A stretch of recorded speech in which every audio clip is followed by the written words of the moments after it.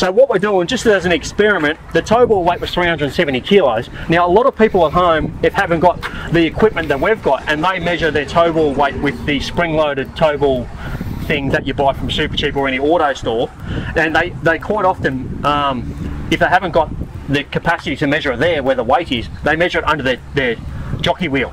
so what kitchen scales under yeah or kitchen wheel. scales under there so what we're trying to do is just show you that there is a difference between measuring it here and actually measuring it where the weight is imposed on the vehicle yeah.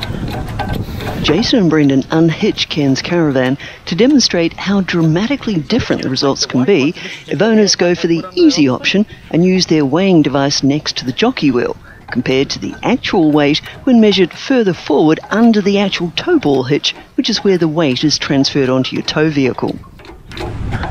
Now we just want to make sure that's right height, alright? Mm -hmm. Because so it's exactly the same, comparable to what we've done before. Just a little bit higher if you're going to move the car away. Another top tip, for the most accurate weight assessment, the caravan must be measured at the same height as when it's being towed. Um, tape measure? It helps to have a tape measure a little bit more, a bit more, a bit more, a bit more. About there.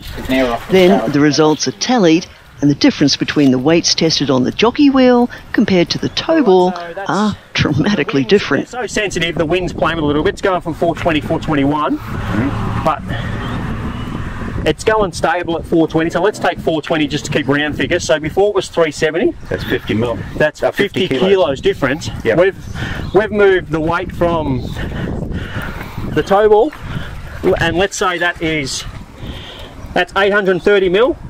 Let's just use round figures. If you measure from a meter from where the, the weight's imposed you've got up to a 50 kilo discrepancy which is huge all right?